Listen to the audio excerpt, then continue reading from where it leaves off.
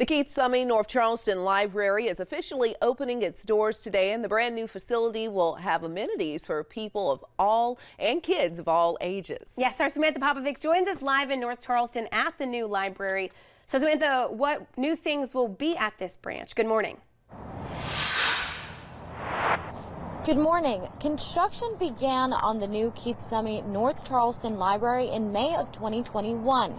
The former library, which sat at this location, was 5,000 square feet, and the new facility is 20,000 square feet, fully equipped with technology for all ages. Keith Summy North Charleston Library Branch Manager Von Yeager says the library's mission is to provide top of the line resources for the North Charleston community and says by expanding their library size, they can serve a much larger community. Yeager says this library features a kitchen where local chefs can teach food literacy classes with programs for children, teens, and adults showing how to prepare healthy meals. He says the library will also have a designated teen area which comes with Nintendo Nintendo Switches, Xboxes, and iPad Pros. It will also have a learning lab for workforce development where people can get assistance on their resumes, filling out job applications, and learn how to use Microsoft Office programs. There will also be 27 computers in the adult area and laptops that library go goers can check out and take home.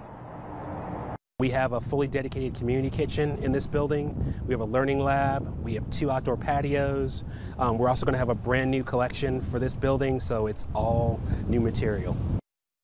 The, the ribbon cutting ceremony will take place at 9 a.m. this morning, where Mayor Summy will cut the ribbon himself, which will then be followed by a day of informative programs for all ages.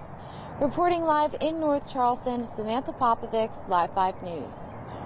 All right, thanks so much, Samantha. This new library was built on the site of the original Cooper River Memorial Library that opened in 1948. To honor that history, the new building will incorporate a portion of the original library's building into its structure by featuring a unique interactive history wall to tell the story of the original branch. Very cool. Yes.